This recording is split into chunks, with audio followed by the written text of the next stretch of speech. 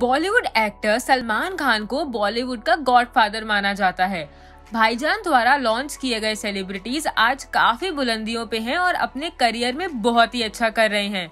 So in today's video we are going to tell you about the actors launch by भाईजान। Number one Katrina Kaif इस बात में कोई शक नहीं है कि कटरीना कैफ बॉलीवुड की टॉप एक्ट्रेसेस में से एक हैं।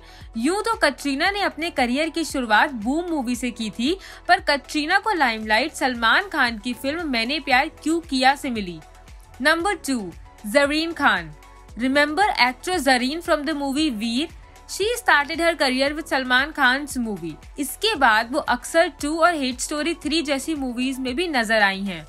Number three Aayush Sharma Salman Khan sister Arpita's husband Aayush Sharma also started his career with Salman Khan produced movie love Yatri a journey of love in 2018 Aayush next Salman Khan starrer Antim movie में नज़र आने वाले हैं.